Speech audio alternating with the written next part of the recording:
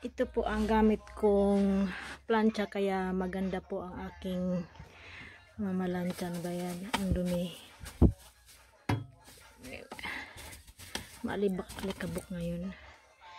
Ayan ho. Yung, yan po yung plancha ko kaya ako po yung mabilis mamalansya.